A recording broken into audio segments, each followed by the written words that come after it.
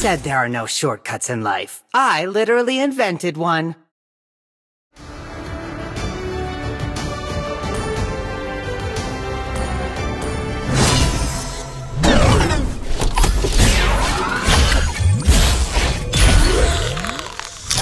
Who said there are no short